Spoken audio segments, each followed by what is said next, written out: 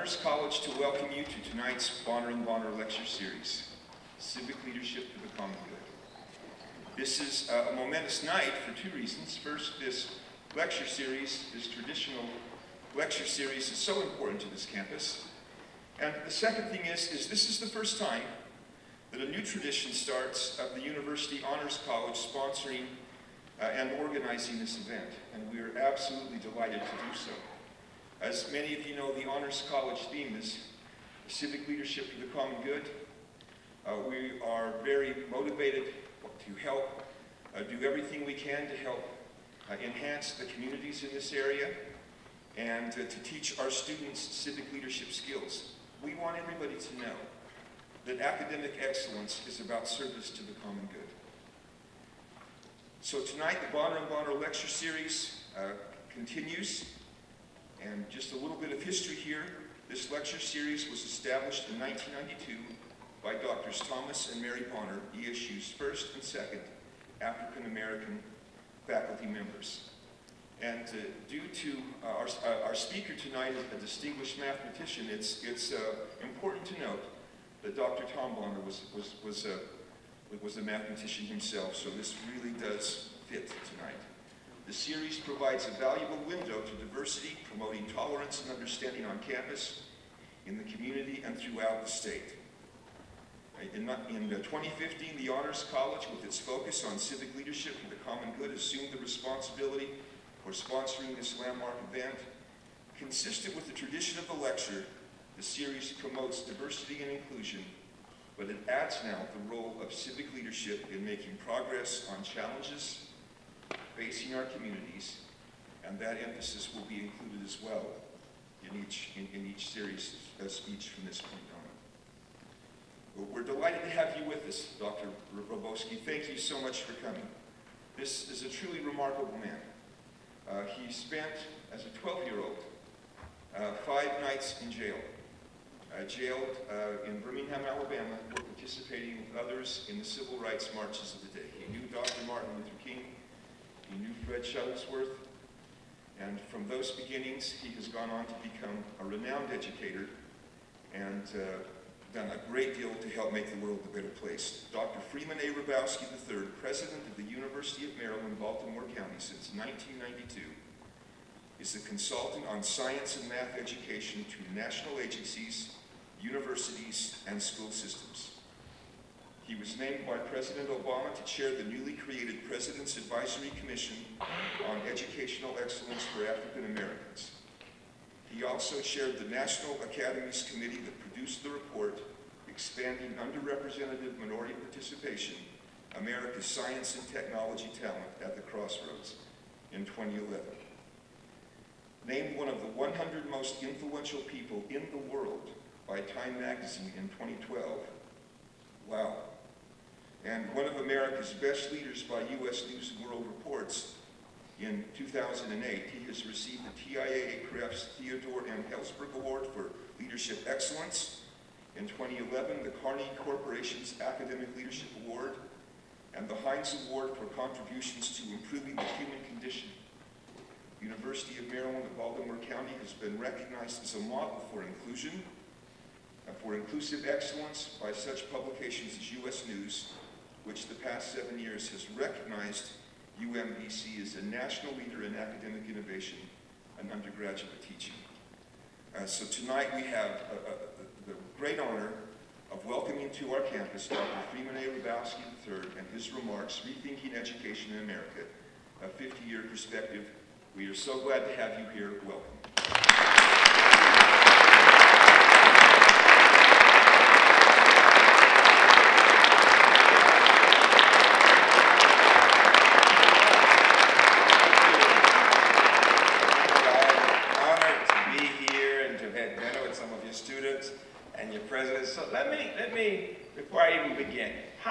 Students here tonight uh, are planning on doing something involving education or majoring? Good, very good, very good. And others, how many of you who are not planning to be teachers know exactly what you're going to do? And how many of you are trying to decide what you want to do? Very good, very good. And how many faculty do we have in the audience? Let me see that. Good. How many of you know what you want to do? I begin with poetry. Uh, people are always surprised that as a mathematician, I start with poetry. It was William Carlos Williams who said, it's difficult to find news in poetry, and yet men die miserably every day because of a lack of what is found there.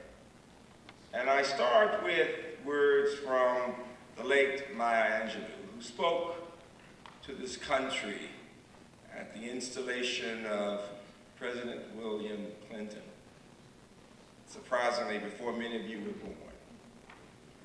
And she said, lift up your eyes upon this day, breaking for you. Give birth again to the dream. Women, children, men, take it, this dream, into the palms of your hands. Mold it into the image of your most private self. sculpted into the shape of your most public need.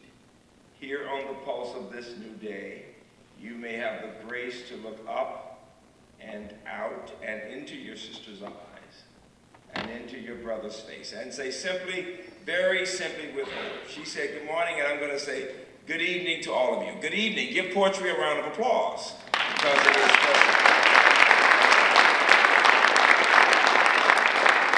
My message tonight is that the way we think about ourselves as a society, as a university, as individuals, the language that we use, the way we interact with each other as students, as colleagues, will shape not only who we are today, but who we will be in the future. That our dreams and our values really do become who we are on our way to becoming. Students, the president of Stanford asked other college presidents in the past year the question, how long do you think college students can listen to a lecture before they fade out? What do you think the answer was? An hour. Do you really think that? Somebody else? Ten minutes? It depends. You're trying to say whether or not I'm interested in that. I get it. I got that. Okay. Half an hour. Anyone else? It's about eight minutes, colleagues. About eight minutes. Now, what do the neuroscientists say? How long do you think faculty members can focus and listen to a lecture?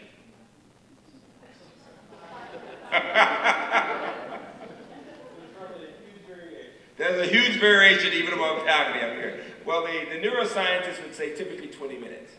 That we can focus for about 20 minutes, and then we fade, we may come back to it. Why do I tell you that? Much of what we're learning about education suggests that we need approaches to discussions, to lectures that will have breaks to keep people with you. Because if you just talk or just read, people will fade out and they'll start thinking about what they're doing when they leave here. So I'm watching you in the back of the room. Can you see me? Let me see you. Wave your hands if you can see me, all right? Okay. I'm going to be thinking about you back there, all right? If you start fading, do like that, and I'll try something else. I begin with the story. I was told one of the students said, say something that's personal. I begin with the story, and the story involves the book that I wrote that uh, I'm signing tonight, and it involves being asked the question, what happened in my childhood that led to my fundamental philosophy of education and to my passion for developing young people in science, scientists and engineers. And it is a fact that we are all the products of our childhood experiences. Whether we are 40 or 60 or 20, that much of what we do, the way we approach the world, comes as a result of experiences as children. And so I'm sitting in the back of church in the middle of the week in 1963, in May of 1963, not wanting to be there. What kid wants to be in church in the middle of the week? And I'm being placated with the two things I like best in the world. Math and food. I'm eating. I'm getting smarter and fatter all the time. And I'm eating M&M's, the good kind with peanuts. You know those kind, right? and I'm eating and doing the math because my parents have forced me to come to this and listen to this guy talk, and somehow I hear him say, if the children participate in this peaceful protest, all of America will understand that even our babies, even our children know the difference between right and wrong. And I look up and I say, who is that guy? Because I'm thinking I'm so tired of getting these hand-me-down books from white schools. And I'm bothered that my parents can't buy my books because they're told if, you, if your child has new books, he'll be different from all the other kids who have these torn up books. He's got to have the same torn up books. And I'm tired of that. I'm tired of being told that the white schools are much better than our schools. And I want to understand what is it they're getting we're not getting. And this guy says that if we participate in this peaceful protest, America will help the little kids in Birmingham to get a better education. And all of a sudden, who is this guy? And of course his name was Dr. Martin King. And I go home and I say, I want to go, I want to march. And they look at me and say, absolutely not. to which I respond quickly, you guys are hypocrites. Now at that time, students, you did not tell your parents they were hypocrites, all right? You did not do that. They immediately sent me to my room. I knew I was in trouble. They came in the next morning, they had not slept, and they said it was not that we didn't trust you. We knew that if you go and protest peacefully, you will go to jail. We don't trust the people who will be over you. I've often thought about that experience because I would not have let my son go. But they did. They said, we're going to put you in God's hands. And if you want to go, you can. Now, my students have often said, you must have been a really brave kid. I was not a brave kid. Let me say that again. I was not a brave kid. The only thing I'd ever attacked was a math problem. Okay? If there was a fight, I was running the other way. You got it? Imagine a little chubby, nerdy math kid wanting to be a part of this movement. What is significant is this. What the experience taught me was that after a painful week in jail where we were treated miserably with several things. Number one, no time to be a victim. Number two, that children, even at age 12, can be empowered to understand that they can have an impact on their own lives. That in the words of Thoreau, that civil disobedience really can mean something. That if you think there's something wrong in one's society, one has the right in our great country to speak up and say something about it. And we had the opportunity to see the results of our experience in several ways. Most important, first of all, we were suspended from school. The principal was told you must put them in all the schools in Birmingham where kids had gone to jail. And for the faculty and for you, those of you who are going to be teachers, teachers were told that if their children went to jail, the teachers would be fired. So it took great courage for my parents to say they'd let me go. What is significant is this. We were fired, we were put out of school, but the principal did something that I'll never forget, and I want the students to hear this. Even when you have to do something that you don't want to do, that you think is wrong, but you have no choice, there are ways of doing it that can show the fundamental significance of your values, to stand up for one's convictions. And then he used the format of the National Honor Society. I thought that's significant to say that tonight in this honors. If some of you remember from high school, when you have the honors, you have the student body there, and you call people to the stage because they're being honored for being the best in the school academically. Well, he used that format to call each of us to the stage. And then he gave the most inspiring few words that led to the entire student body literally giving us a standing ovation, and we all cried. We cried because we were so hurt that our city would think so little of us to kick us out of school. But we also cried because our principal believed in us, and so did those students. And what he did that was also significant was to have the teachers send the homework home by children so that we could continue to do our homework even for those days when we were out of school. The courts finally put us back in school, and that summer there was another march, and within a, a few months, we were in 1964, And there was legislation, most of you were not born, but the civil rights legislation, the voting rights legislation, higher education legislation, all within two years, 64 and 65. This is this 50-year period from the early 60s to today. And here is the point. I was speaking to the School Board Association of Georgia, and a wonderful CEO of a company said to me, when some people were uncomfortable hearing about civil rights, he said, it was mainly a white audience, he said, you know, I'd, like to say something, Dr. Hrabowski. He said, you know, when you hear about civil rights and you hear about you're going to jail, you think, well, that helped, that helped black people, that helped women. Uh, he said, but here I stand, a wealthy white man, the CEO of a major company, and people assume I come from money. He said, nothing could be further from the truth. He said, my mother was a sharecropper because my father was dead. And my mother saw the little Negro children going off to college after the Higher Education Act in 65, which gave financial aid to people who didn't have money.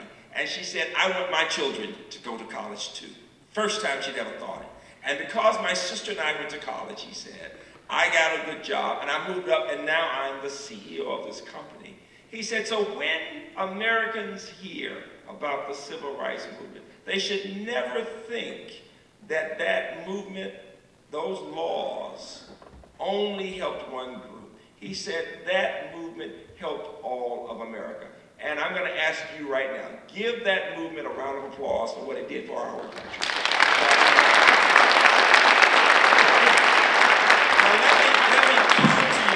How significant that period was, particularly just thinking about the Higher Education Act. Here's a question, because the eight minutes are over and I want to make sure you don't leave me, all right? All right? I'm watching you in the back. You with me still, back there? Okay. Here it is. Listen to this.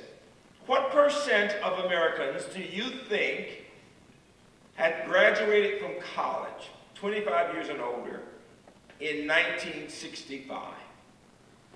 Take a guess. What would you think? What'd you say? I heard somebody say 10. Somebody else? 15. 15. 5. Anybody else? 20. Surprisingly, it is, it's 10%. At that time, we only talked about people in two groups, black and white, okay? What percent of whites had a college degree? Now, don't let me leave here saying you're risk adverse, right? Okay. Teachers must be able to take risk, right? 20%. 20%, anybody else? 24. 24, anybody else? 15. In the back? 30. It was only 11%. Only 11% of whites in, in the early 60s, up to 65, over the age of 25 have a degree. What percent of blacks? Don't be embarrassed. Go ahead and say it. One. 2%. Okay?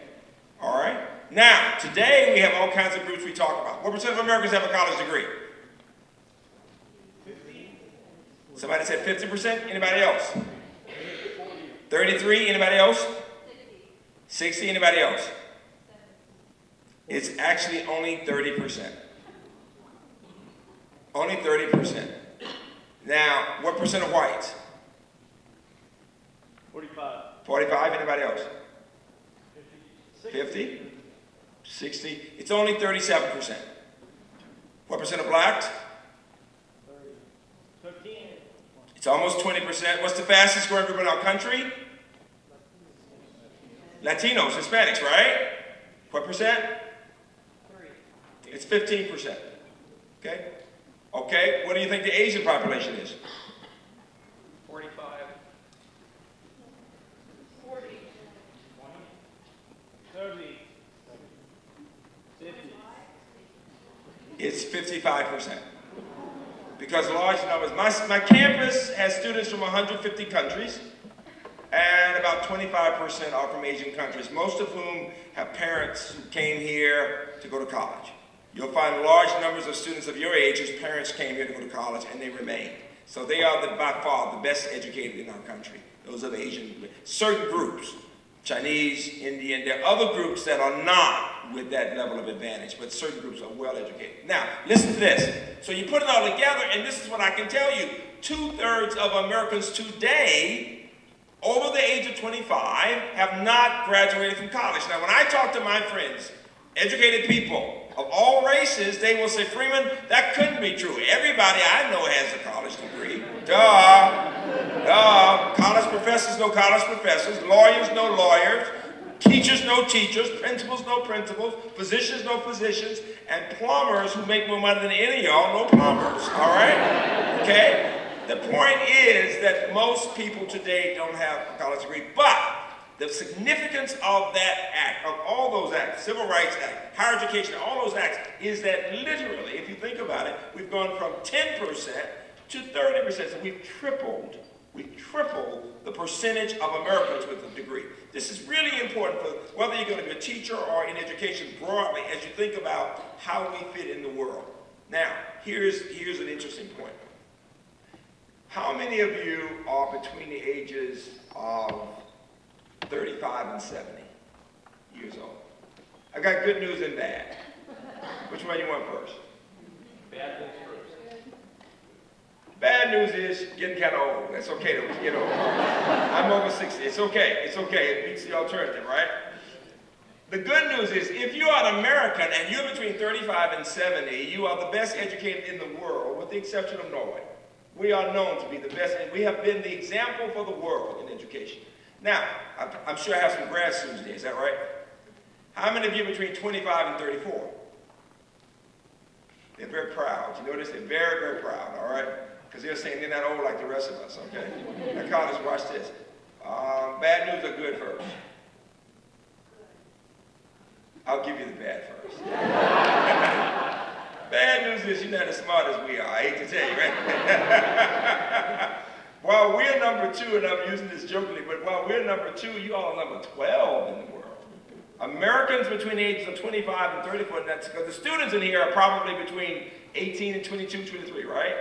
So you're going to be in their category very shortly. And I'm telling you the, that these students who are like 25 or so, here's the problem. They're number 12 in the world for this reason.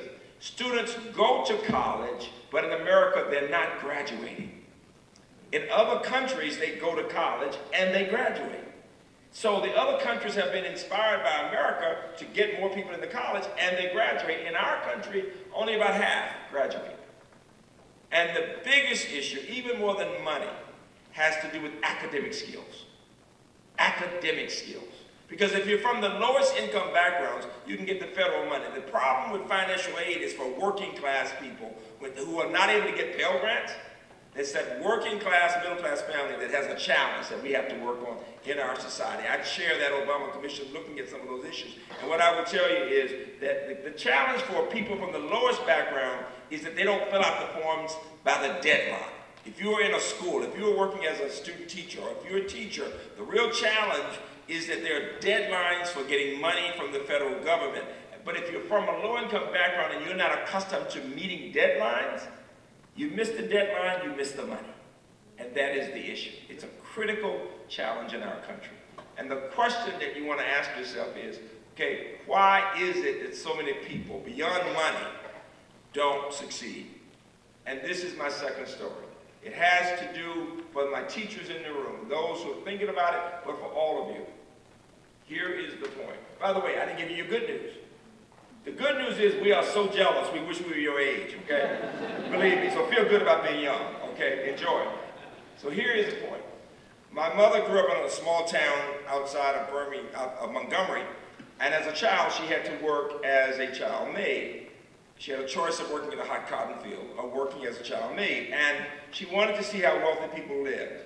And what she did that was fascinating was to go into the library and begin reading from some of the books.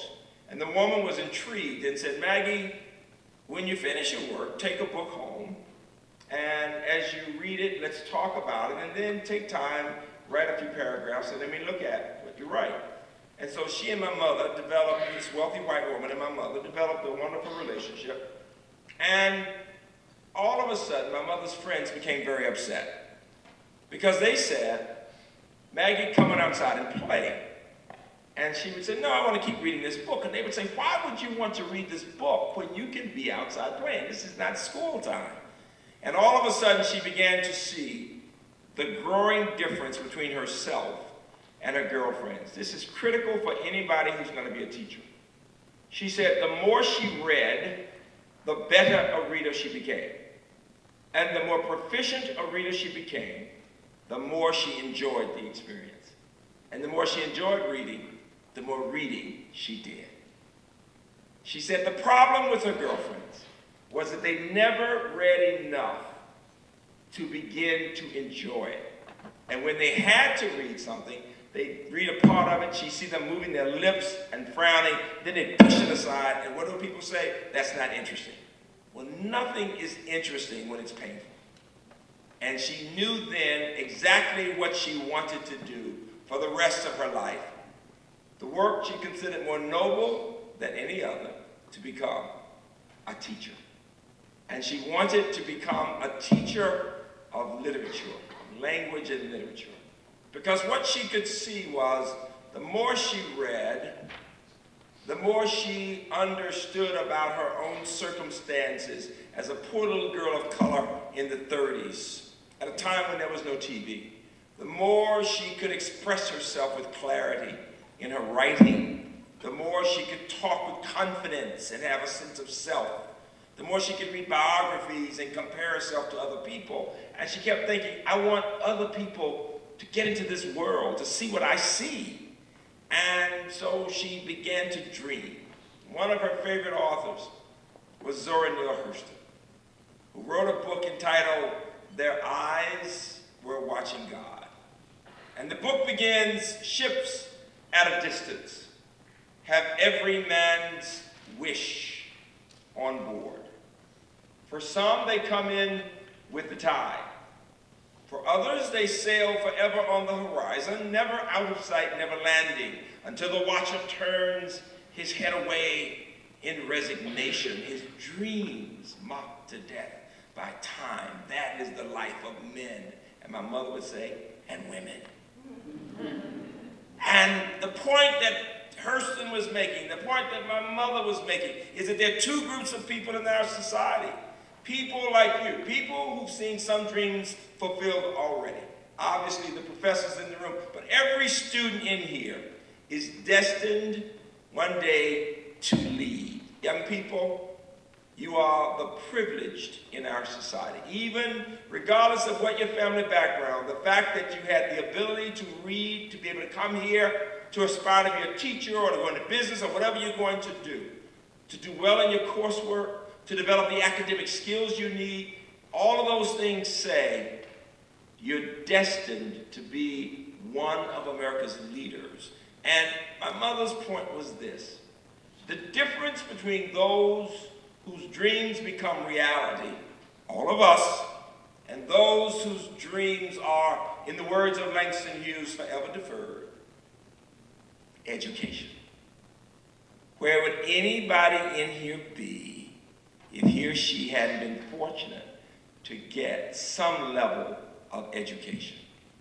What makes the work of a teacher so noble is that so many children need the support from their families, but they also need the support from that person at school who can look into their eyes and let them know how special they are, who can excite them about reading, and he can teach them something about ideas and teaching them to think. You know, I will tell you, for those of you, anybody in early childhood, anybody in my early childhood teachers, let me tell you what's really significant.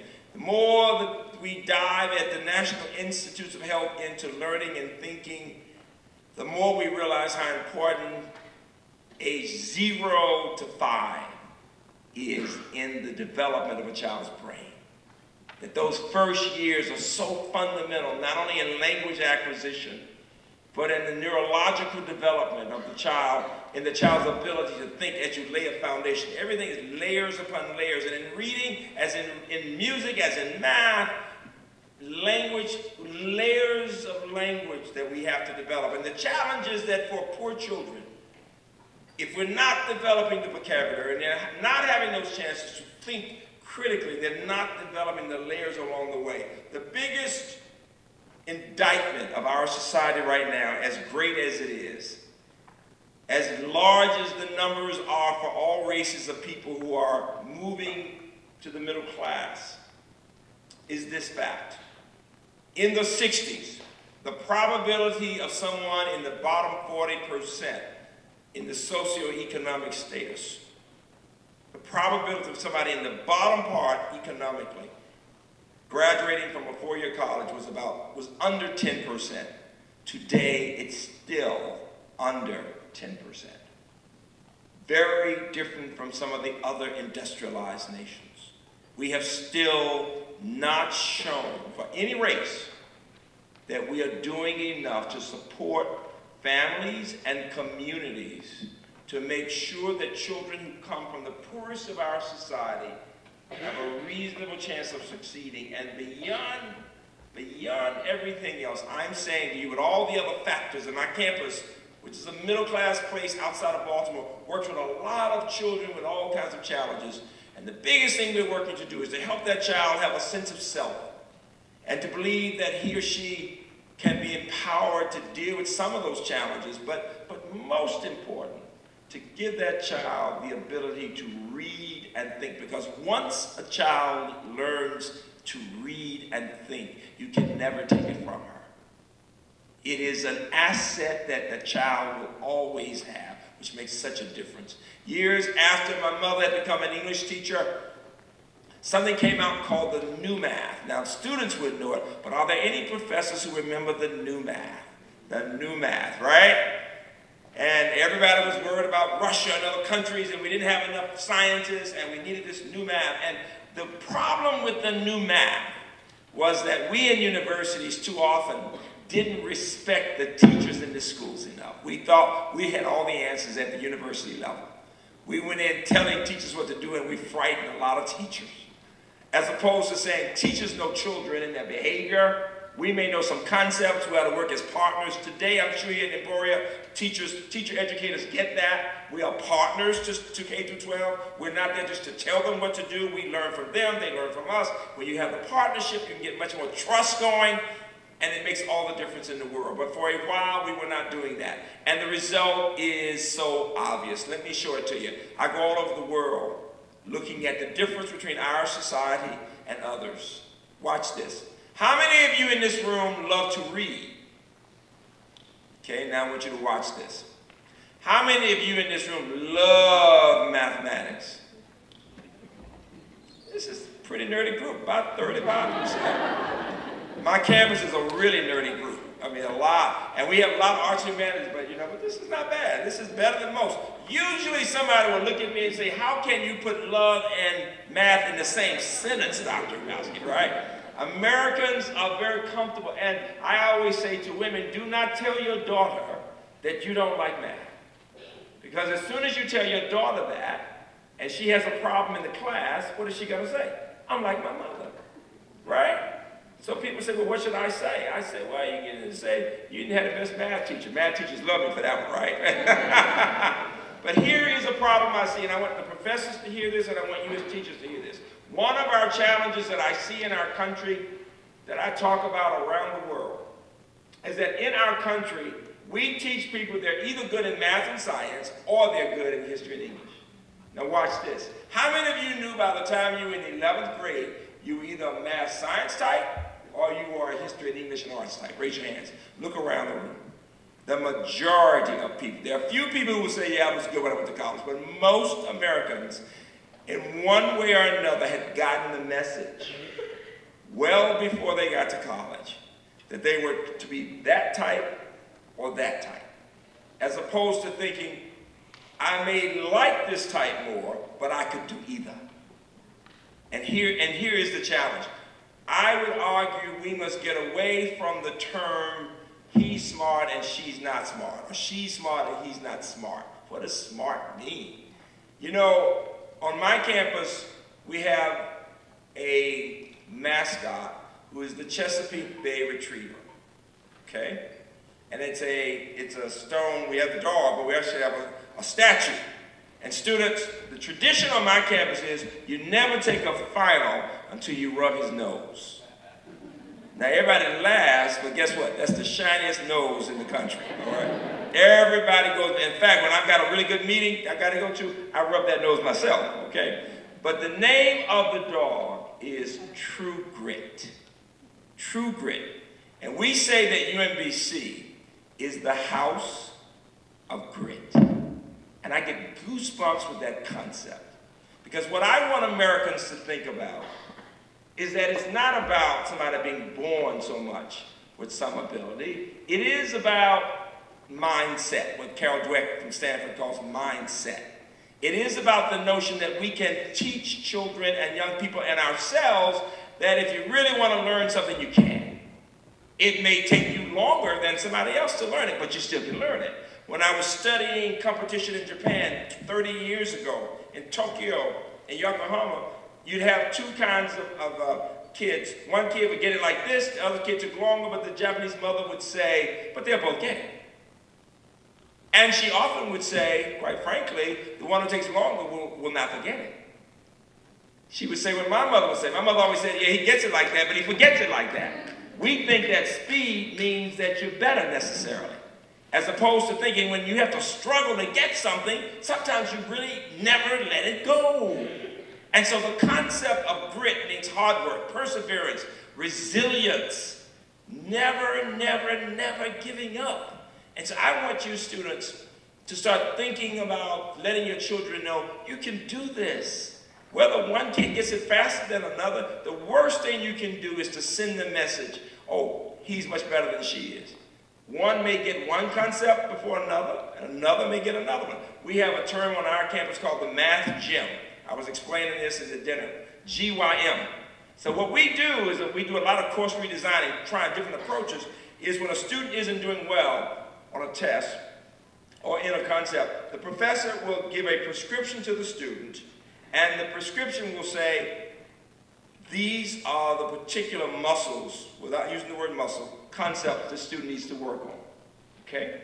The student goes to one of the student trainers in the math gym, and then that student trainer will work out this student on those particular skills, and they'll go over it for a week or so, and then the student gets tested on that. The student can improve the grade, but the idea is the same one you have when you're working out with your body. That it's not, if you, if you got a part of your body that's not what you want it to be, it doesn't have to be that way. You get my point? That you can change it by having a mindset with the grit to make all the difference in the world. And so I want you to think about resilience, because we all fall down sometimes, that often, quite frankly, in whether it's in math and science or in studying literature or in whatever the area, sometimes we learn much more from failure than we do from success. The programs that we have on our campus will sometimes encourage students to take the risks so they can learn more without punishing them when they don't necessarily succeed. The question is, how do you learn from getting knocked down? How do you get back up? How do you keep going and going and going? Here's the other question to all of you. How many of you in the room, students, would say you work as hard as you could possibly work in your work at the university? How many of you can say you really work really hard? So professors, want you look around. I see about 5%. Now I'm going to give you a challenge. You're all able to do whatever you want to do. One of the reasons my students work so hard is the students from other countries. You know, I had a student from the Baltimore Washington corridor who said, Doc, I don't want to stay in this room because my roommate's from another country and she looks at me kind of strangely. I said, what do you mean she looks at you strangely? She just got this strange look. I said, did it ever occur to you that she thinks you look at her strangely too? And she said, okay, I'll stay one semester. And we were having a focus group afterwards, and they both came to the focus groups, and they said, we want to thank you for encouraging us to stay in the same room. Uh, my American student said, I figured out why this girl bothered me so much. She said, when I would go to bed at night, she would still be at her desk studying. When I woke up the next morning, she was already at her bed, at her desk studying. I never saw her sleep the first half of the semester, and it bothered me a lot. She said, I used to sometimes want to go and just pull her off that desk and make her go to bed. Wait a minute. And then I figured since I couldn't do it that way, I wasn't going to bed until she goes to bed. And so she said, I'd be sitting at my desk doing like this, right? And learning to eat mints and drink water and work harder. She said, and then sometimes I figured out maybe we could study together. So we started studying together, and she pushed me. And what she taught me was that I never knew how hard human beings could work. And I never knew how much more you can get when you work in groups, not just trying to work against people, but work together. And now we got a thing going. And we both push each other the same way. She said, and I'll never be the same. And so I want you to think about this question. The way you perform now, the way you study now, the, the, extent to which you support other people, the extent to which you get involved in community service. I'm so impressed with the idea of the Honors College having the civic engagement, which is what we do, and the reflection and learning about people less fortunate than you are. The habits of mind that you develop now will shape who you will be 20 years from now. I'm going to end because I want to have time for questions. I'm going to end with a story. You know, I could tell you many stories about my students, but I'm going to end with a story about my mother because we all go back to those childhood experiences. Some years ago, my wife and I had brought my mother to Baltimore from Birmingham because we realized that she had developed dementia. And she was so, such a, a talented woman that she was able to hide it from us in so many ways.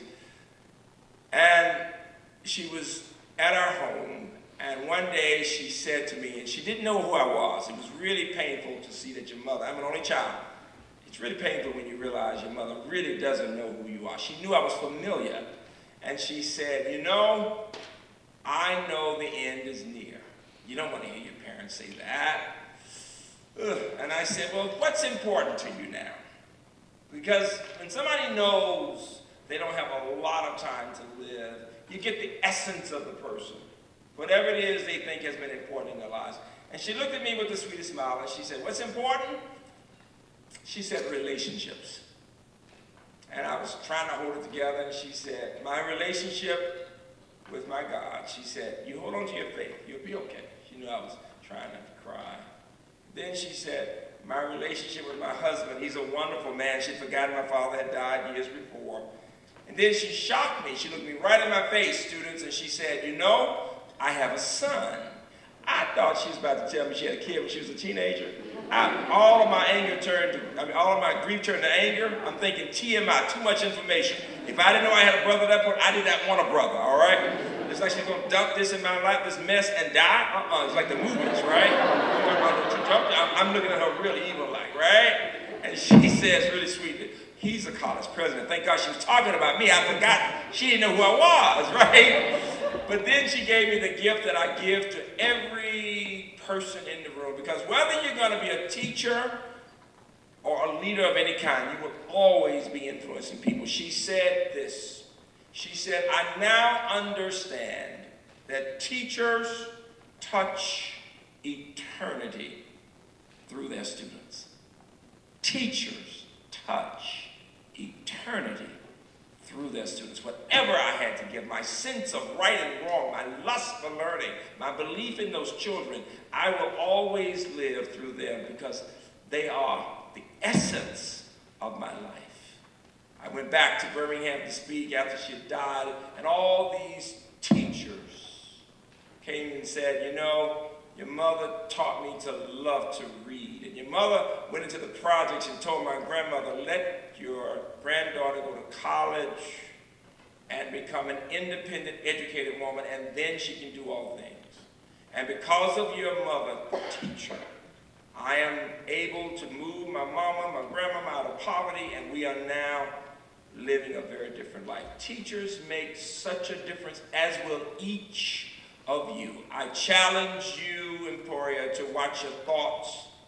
They become your words. Watch your words. They become your actions. Watch your actions. They become your habits. Watch your habits. They become your character. I tell my students your character has everything to do with who you are, not only when people can see you, but what will you do when your mother's not there? Ah, so thoughts become words. Words become actions. Actions become habits. Habits become character. Watch your character, it becomes your destiny.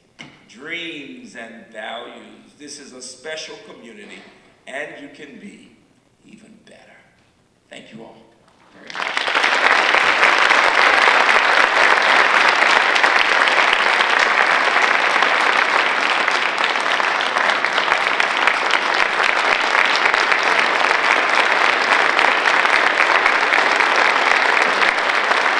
Stay with me.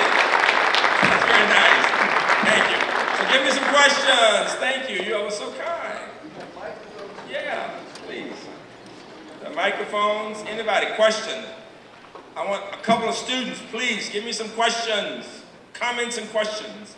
And if somebody can give me some water.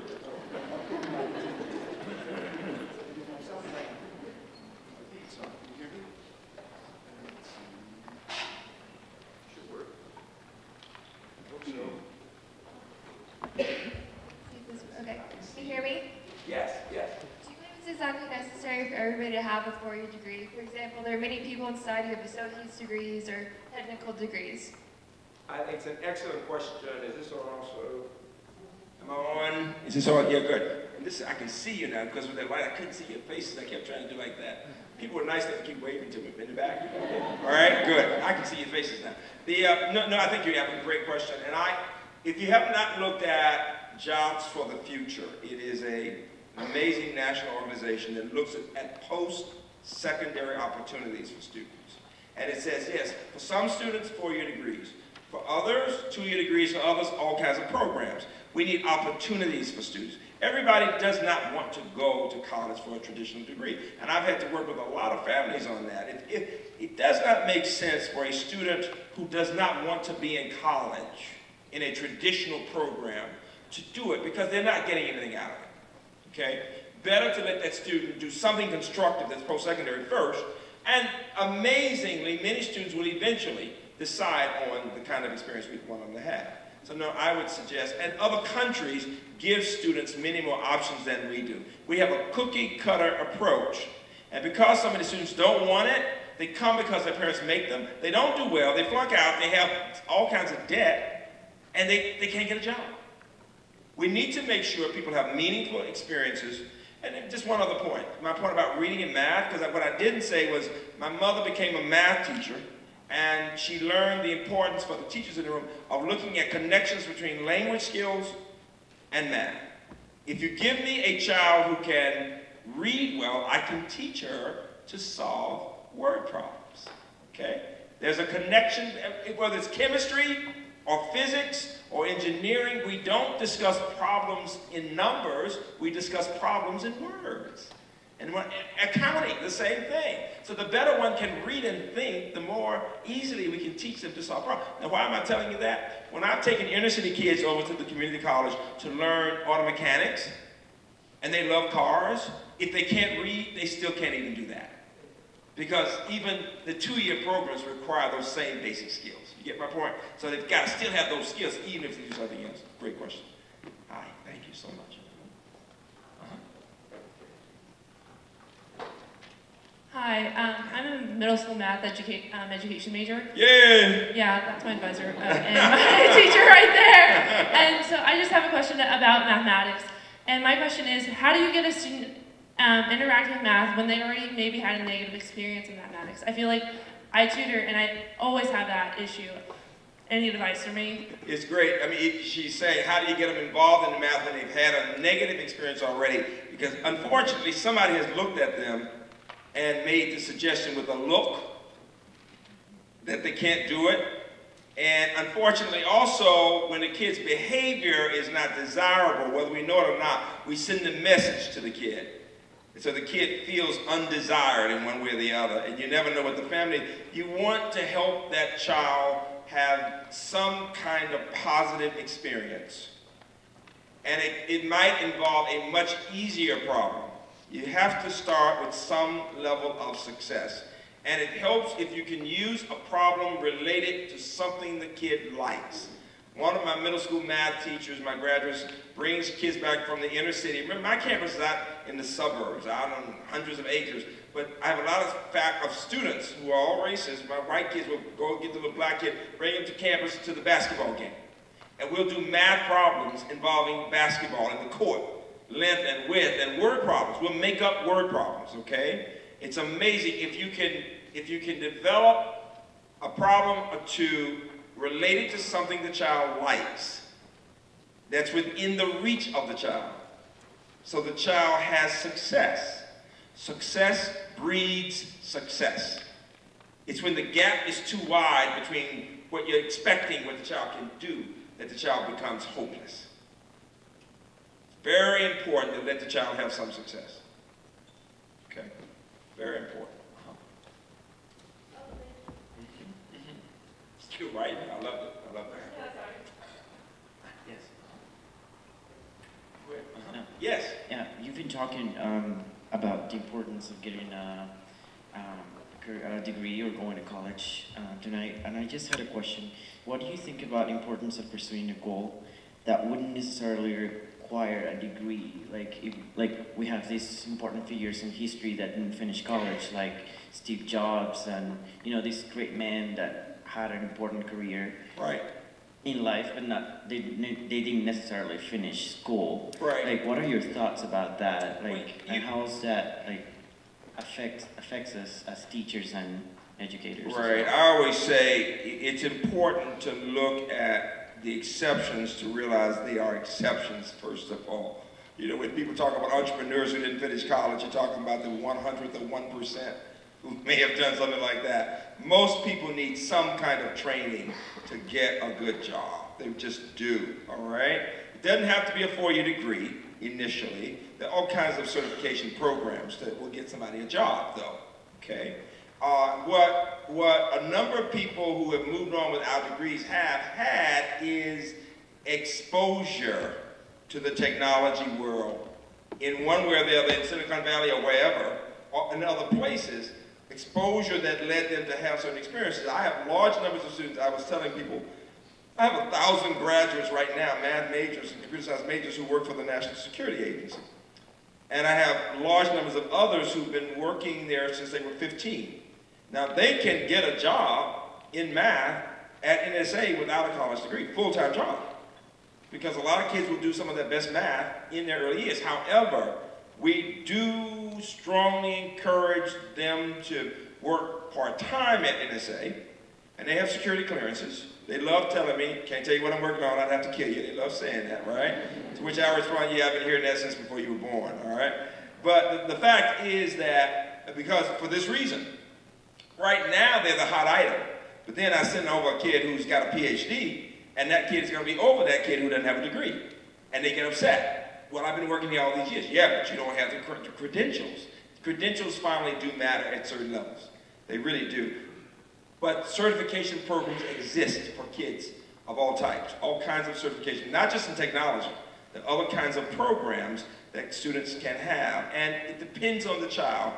But all of those programs will require, I'm going to go back to it, fundamental reading and thinking skills. And I'm saying that, and this is a bold, bold statement I'm making, I'm saying the bottom 40% of Americans have serious reading and thinking problems. Let me give you one math problem that's basic from the NAEP data. NAEP is the National Assessment of Education Progress Report. That's, the, that's America's uh, report card, okay? 21-year-olds were given a um, $20 bill and a menu at a restaurant. And they were told to choose two items. Don't worry about tax. And obviously every item costs less than $20. And let's just say one item costs $8 and one item costs $5. Okay?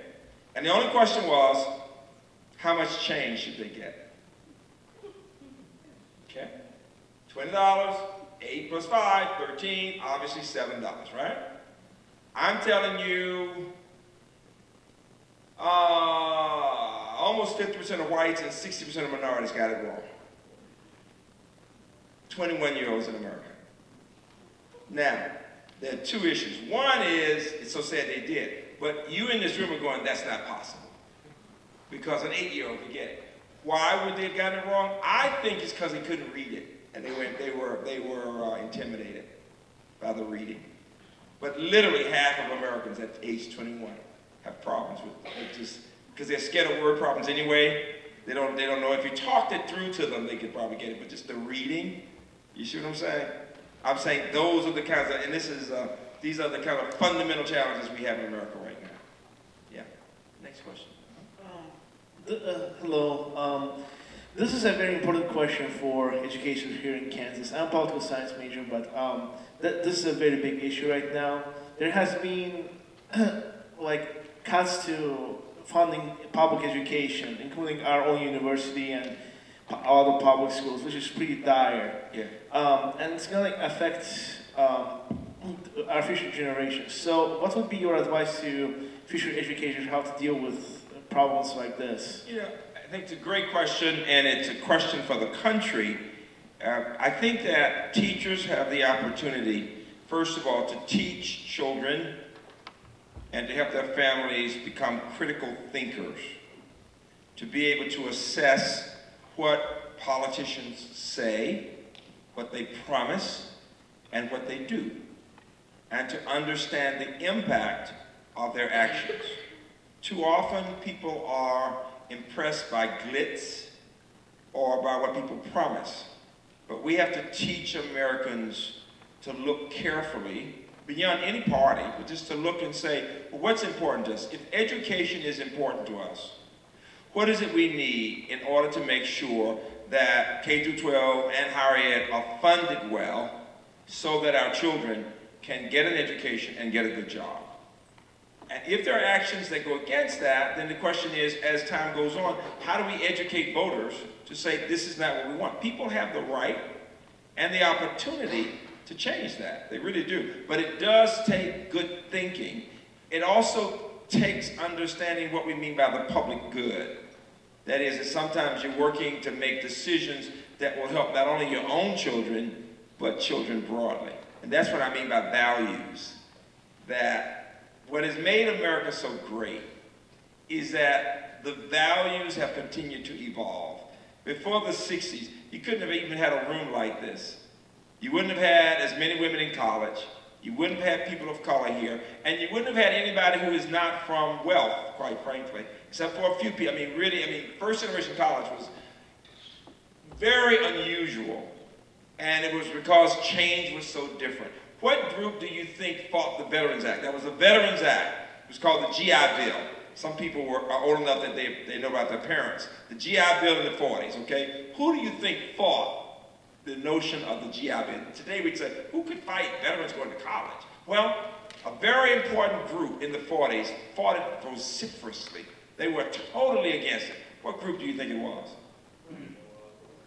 College presidents college presidents, starting with the president of Harvard to the president of the University of Chicago, said, if you let those veterans into our colleges, our universities will become academic, quote, hobo jungles. That was the quote. Because they were accustomed to the wealthy going to college. And they thought regular people shouldn't go to college. Well, the veterans came in and showed they were more disciplined than any little rich kids It did extremely well, moved their families to the middle class, helped the society, built the tax credit. You know, it was wonderful, millions.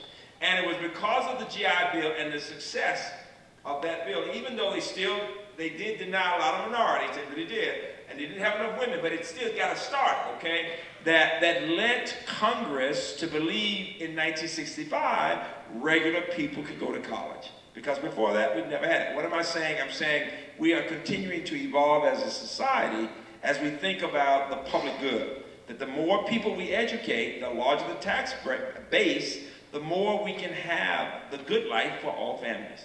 We're still an evolving society. We have to see it that way. And teachers, though, teachers play a big role in helping children to develop the critical thinking skills to understand that. Okay? Yes. Uh-huh. Go right ahead. Um, earlier you were talking about the mindset that people have that causes students to think that they can only be good in certain subjects Yes. versus other subjects. Yes. Um, my question is, uh, as a uh, somebody who's going into secondary education, um, students have been long, uh, you know, rooted in those mindsets by the time they reach high school. Yes. So what uh, mechanisms or measures would you recommend implementing inside of the classroom as an educator to Yes. kind of combat this? Yes. Well, you know what? I think an honest approach is, is always good. First of all, asking students, how many of you like this? How many of you like that? And then asking them why. I, the unexamined life, for my philosophers in the room, is not worth it. We need to examine our thinking, our values. We, the only way you change the way we think is to examine what we think, right? So being able to say to people, why, why is it that you think you're not good in that? What is it that led you to think that way? And let's just look at it, right? Getting people to think critically about why they view the world a certain way or why they think they're not good at something. And then having opportunities for them to grow and develop in those fields can make a big difference. That's not to say they're going on to get PhDs in that. It is to say they can be proficient. It is to say they can feel comfortable in, in living their lives with the kind of math that every student should know, that any educated person should know. You, you, see, I'll give you one example. I chair the Marguerite Casey Foundation in Seattle, and we work with working class families. We were helping my own state, Alabama, my home state, with uh, something about education for tax, increasing taxes uh, for education. It was a billion dollar deal, and it was a wonderful Republican governor who wanted to do it.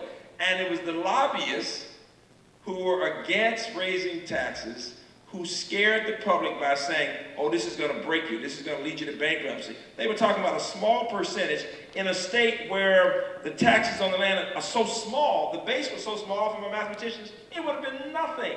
But people didn't understand that when the base is small, and you talk about a small percentage of a small base, you're not talking about the money. You were talking about $100 or something for, their, for the poor kids. But they scared them so by using percentages and saying, this is going to really hurt your family. And the people were so uncomfortable with basic percentages, they voted against themselves. They allowed wealthy people to keep them from raising taxes to help one of the poorest states in the union when it comes to education. It was so sad, just because they didn't know basic percentages. You get my point? When you talk about math and everybody should know, it's like when people say we had a 100% increase, and everybody says that's wonderful, not knowing that if you don't know what the base is, you have no idea whether it makes any difference. When I, I mean, I had in mind to the faculty in the room, my physics department went from one faculty member to two. And somebody had written, we had a 100% increase. I got all these congratulatory notes from all over the country. Said, wow, great progress, 100% increase. One to two, right? I was too embarrassed to write them back and tell them.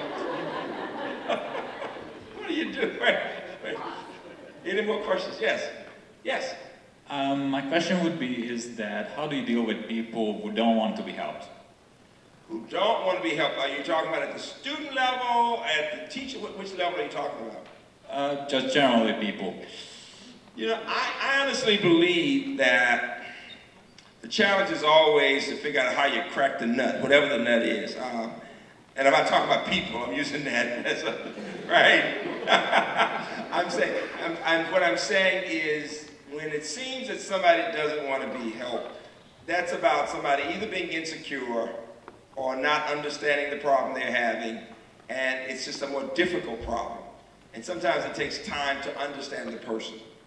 The person's being defensive, for example. The person doesn't want to change because the person thinks everything is fine. Uh, and for, I mean, for at the university, for us to, to improve performance of minority students, I really had to show the data and look at best practices and get people to agree to use an experiment to see, quite frankly, um, what we could try and see if it would make a difference. And it was based on the data analysis and analytics that we convinced some people and we had allies. And I think that's what I would say. Even when you have people who are resistant to change, you find people who know them well. Because sometimes you can't do it, but somebody who knows the person well can get the person to begin just to open his or her mind. Anybody with time can be encouraged to think more broadly. It just takes time. Because it's about trust. You all know that, faculty and students, with your friends. The more you trust somebody, the more you'll listen and think about what they say, whether it's a child and a teacher, a professor and a student, or colleagues. It's all about trust. It really is. What are your thoughts?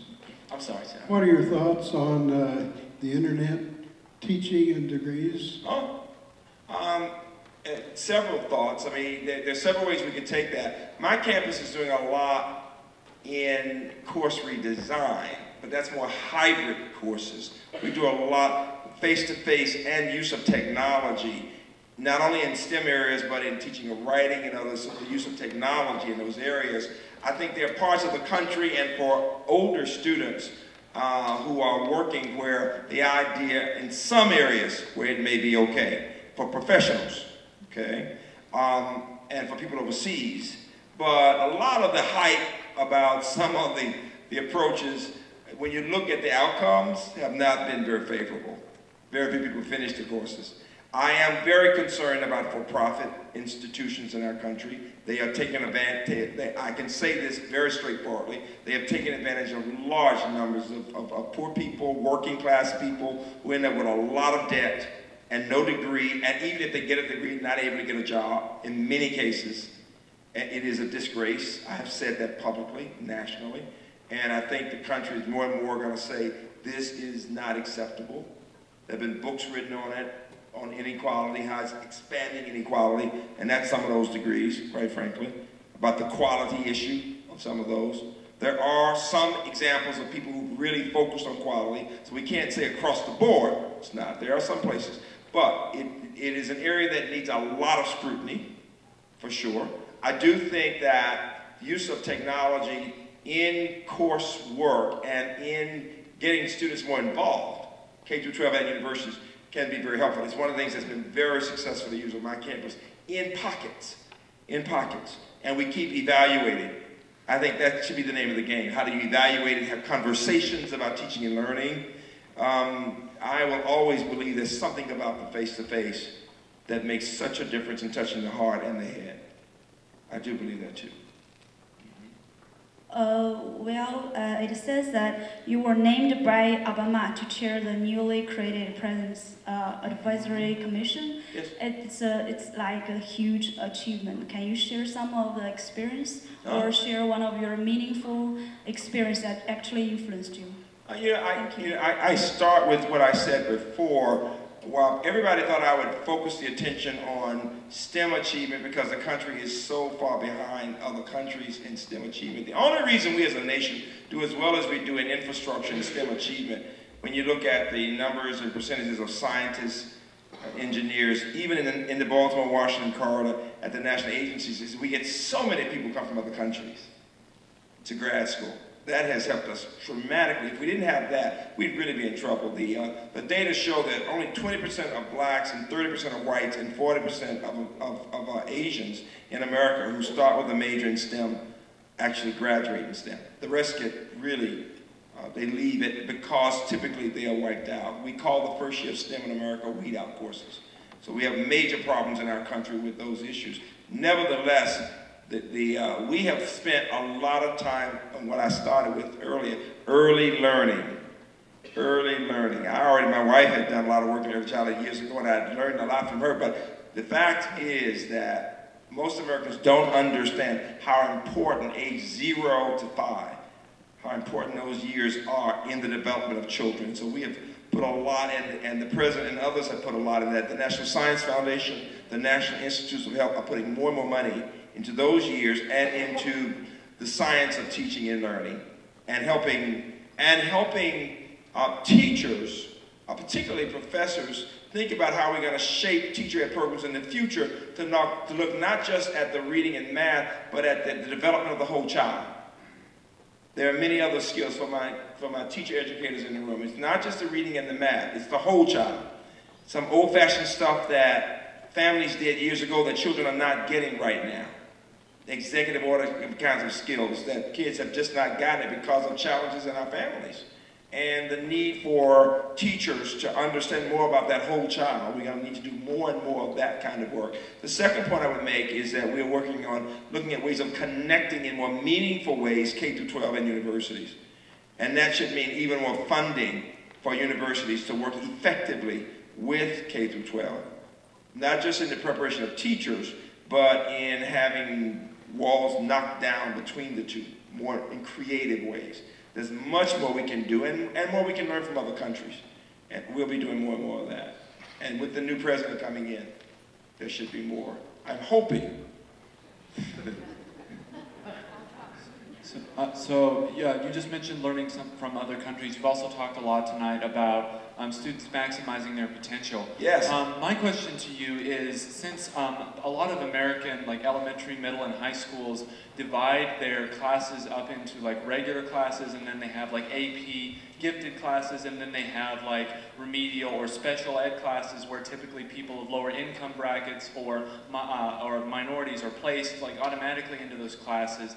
Um, do you think um, do you think that the like people who are put into remedial courses um, in order to help them, do you think that actually tends to be helpful, or does it actually tend to limit student potential, as opposed to like students who are put into gifted programs and tend to have like higher graduation rates? What's your opinion on division of, of, of students into classes? Now, I I think you raise a very good question, and I think we are far from where we need to be right now. I think there are there are some divisions that need, people need certain help. Let's let's not fool ourselves. There are children who need particular help. Uh, we have found ways of integrating children with certain challenges into regular classrooms, and that's good too. But there's no doubt that we go overboard and we get to the point of thinking, here are the really high achievers, and that's the way it's going to be. And then the others. We don't have a way of encouraging and supporting kids in building their skills to be able to keep moving. It's almost as if it's in concrete. You're the gifted ones, and you're not. And it's a mindset. And the experts would say that's really not the most enlightened way. And because here's, here's the deal. If you're from an advantaged home, and you, my mother had me reading Dostoevsky when I was in middle school. Whether I understood it or not. She punished me with characters like Raskolnikov. Must, I mean, I'd be embarrassed when people would say, who is she talking about? I said, I don't know, but I knew. Because she, cause she had been drilling me, and, and everybody from, from Richard Wright and Ralph Ellison to all the way over to Dostoevsky. So I was blessed to have a mother who was an English teacher. So I was supposed to be able to impress teachers. You get my point? And that's any well-educated family. So of course they're going to be in the gifted class. You get my point? You know, if a child doesn't come from that, how would the child be able to do certain things unless we have supplemental work, right? But if you send the message, well, you, you don't belong there, and you don't belong there, and you never will belong there. I've had kids, quite frankly, in my mouth program who were diagnosed as special ed because they speak slowly. And yet I, we worked with them in middle and high school, and they had near perfect math SATs by the time we finished. And I've asked teachers, what do you think? I mean, he still speaks slowly, okay? But almost 780 math SAT. I mean, we, we make judgments sometimes based on very imprecise evaluations. That's not to say that there aren't legitimate reasons for people to be in certain categories. It's just the concrete way that it's done leads people. I think there's a lot of discussing and challenging and experimenting that needs to go on to help children to believe they can do, if they don't have lead poisoning and things like that, they can do more and more and more. They really can. It's about having the encouragement from community, home, from college students. A lot of my college students help some of my poor children to move further than you could ever imagine. That's the one thing I would say to college students. If you really want to learn about yourself, work with a child. It's amazing what you can do to, to take that child from one category to another if the child hadn't been so damaged as to think, I'm just ordinary. There's the issue. That I want every child to believe, I can do this, I just have to work hard. I can do this. You get my point? So you, you raise a very good question, and we have not given a satisfactory answer in our country. Okay.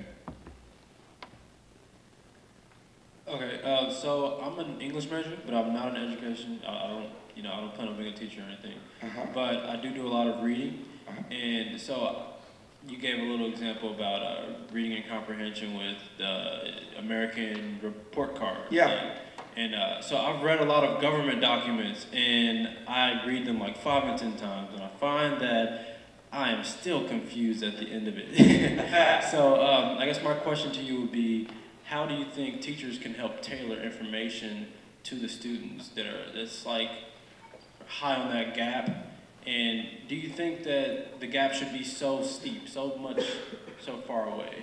And are you, are you, are you talking about government forms or? Well, just, just because reading, I guess, reading comprehension. No, I, no, I think, again, people learn to do by doing.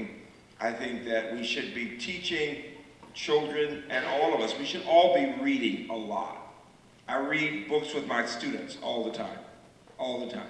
Um, books of all types, uh, from 19th century British to Harlem Renaissance. And right now, I'm reading books in French with, with them. I'm learning French with some of my students, and they're loving correcting me. They really, they really are. But we're reading Mr. Proust, Mr. Sach, Mr. Fanon, and uh, layers of learning. It's just wonderful. I'm struggling. It's great. It's really great. And I think that's what we have to teach people.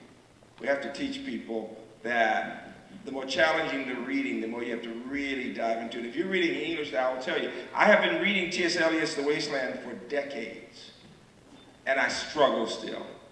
And every time I read a part of it, I get another insight, and I say, wow, I didn't, I didn't begin to understand that before. And I purposely don't go to something that would explain it, because I'm enjoying being made to feel humble, if that makes sense. You get my point?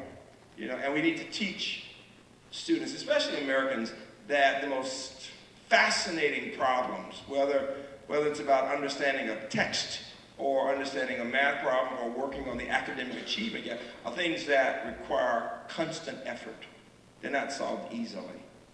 You know, and that's a part of that's a part of our challenge in our country. We prefer immediate gratification as opposed to knowing you struggle. The question that the gentleman asked me about the categorizing of people in these categories, you know, I can understand a teacher needing an opportunity to work with different groups, bidding on certain things, you know, and I'm saying I don't have the honest, the easy answer. I do know when I work with kids and teachers sometimes, it's amazing how much teachers can, children can teach each other and learn, for example.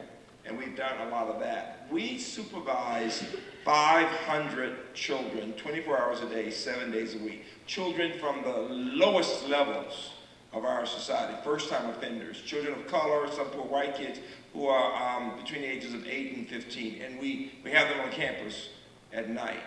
And um, they're some of the highest achieving thinkers I have met. Now, some of the best math kids in that group are so good because they have had experience uh, at age 11 and 12 selling drugs. And we're teaching them to take a constructive way. This is on my upper middle class campus. And we have these kids. On the other hand, some of you appreciate this, you may not like it. I have a young scholars program I've had 20 some years. My math professors in the room, uh, I'll get numbers of kids through the calculus sequence before they're 13. My youngest freshman ever, nine. I got a lot of kids who are 10 and 11 out of the Center for Talented Youth, you know, and who are precocious, you know. And why do I do it? Because I want them to have emotional intelligence. Because a kid can be very high achieving, but if he that or she doesn't learn to work with other people, it's over. Think about what happens to kids if they don't know how to work with other people. So we get, I mean, we get a number of kids, I mean, literally dozens who will finish that first degree at 14, 15 years old with, not just in the math, but with stuff in literature and philosophy. And even in their cases, they are working hard and struggling with the reading, for example. So I would say, in any case, whether it's one of my first-time offenders or some of these kids from the Center for Talented Youth at Hopkins who are on my campus, the idea is you learn to do by doing, and you keep working with them. The more they work on the difficult texts, all the hard word problems, the better they get it. That's the issue. Um, a lot of times the way a child is raised at home affects how they uh, look at education. Yes, yes. Do you have any suggestions for how we could inform parents about this need to encourage their children to look for tough experiences?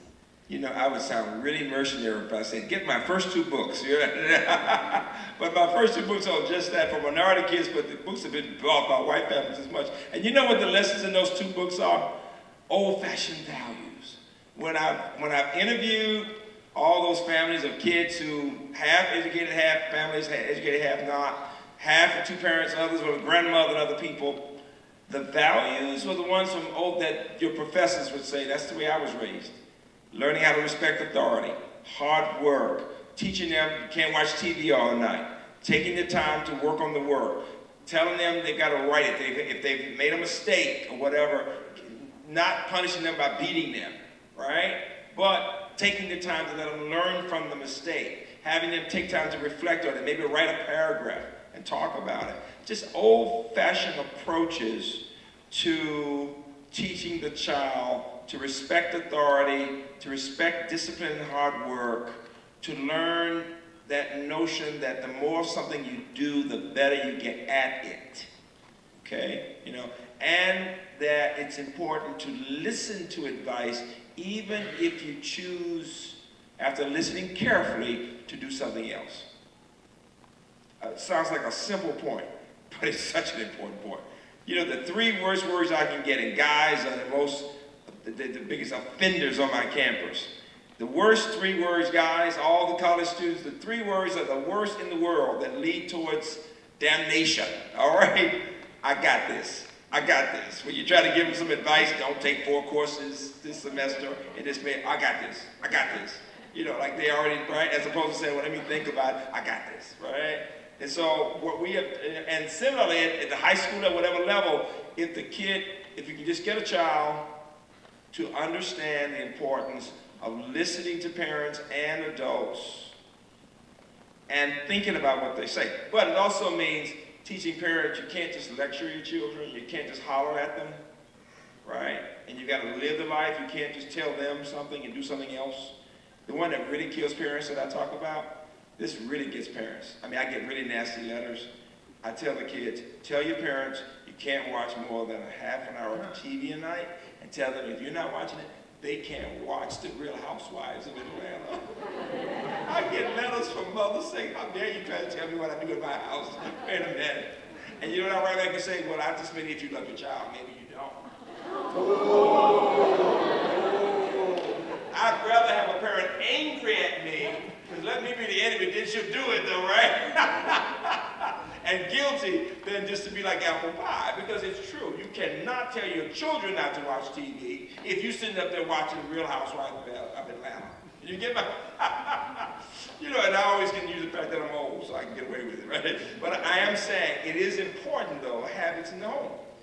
Very, you're absolutely right. It's a great question.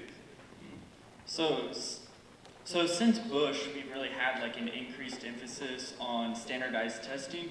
Is that something that you think creates a toxic environment in trying to help these individuals have an increased sense of like self-empowerment? And if so, like when we're trying, or teachers are trying to empower these students, uh, what is like standardized testing's role in that? Or is that something that we need to completely remove? It's a great question. Let me, let me just say to you that what probably gets me more eggs in my face, or people wanting to get eggs in my face, is that for years when I was a young guy, I wrote the math questions for the SAT. When I tell people that, they just get so angry at me. Because, you know, when, when, especially when minority kids say, well, the test is not fair, it's culturally biased, and I say, well, I wrote the math questions and I think I'm black. I don't know unless I, I think I am, you know. Uh, the, the fact, you gotta put humor into this stuff, you really do. Because uh, people get really angry at you, they really do. And, and so people will come to my campus and say, my daughter wants to be a physician, and she has all A's from her school, in some school, and she has a low test score, and she's been working hard all her life, and she has all A's, but her test score, her score may be three, 400 below my minimum cutoff, and and she was, they said, you cannot keep her out because she has all A's, and uh, she wants to be a doctor and she likes people. And that's what I get, okay? And I will say, no, uh, but the problem is that the rigor in the school is not at a level that's prepared her for the work. And I her come in and not do well. Got to get her to a smaller place to build up her skills. That her test score tells me she doesn't read well. I can tell you that right now. And then they get upset. But I said, the test score does tell me that, okay? And the next, and then she said, but no, she wants to be a doctor. Forget the reading. She knows science. She's going to be just fine. I said, well, okay, well, let me say this. You're on the operating table, ma'am. and the doctor comes in and says, I like people like your daughter, and I got all A's, I can't pass the test, but I'm going to cut on you. Are you going to let them do it? What is the point? Either you finally can show what you can do on the test or you cannot. It's just that it's straight up.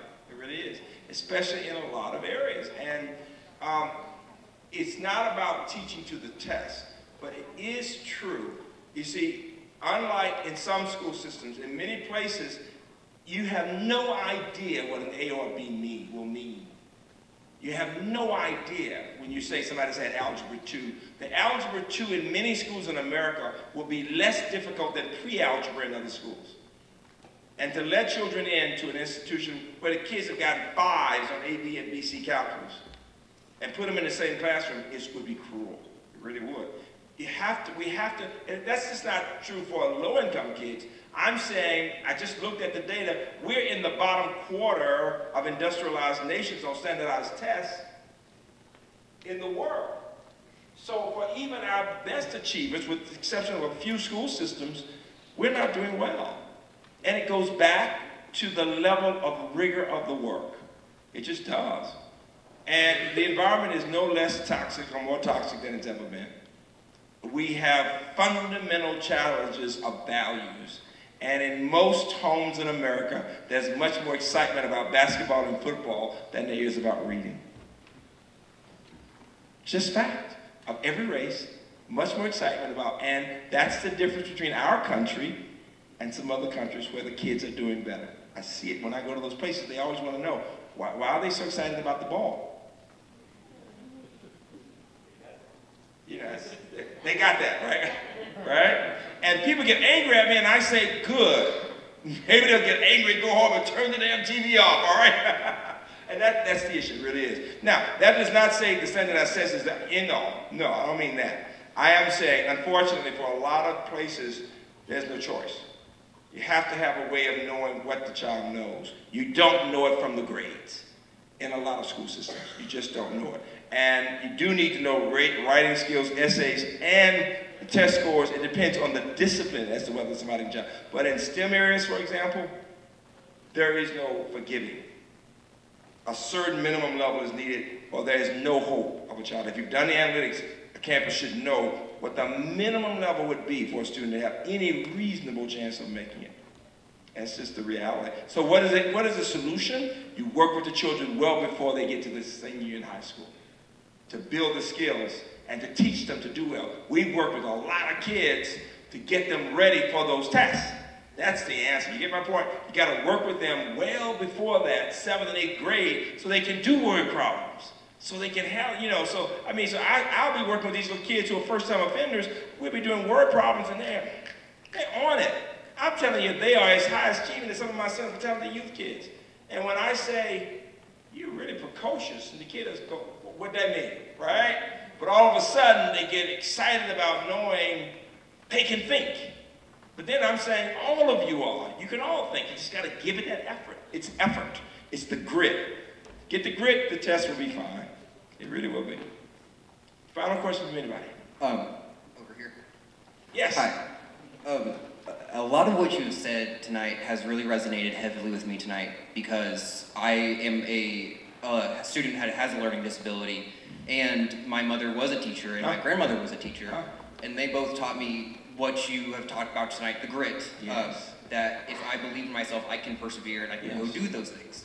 However, um, the problem being an LD student was the feeling of being ostracized Mhm. and feeling that you're not normal.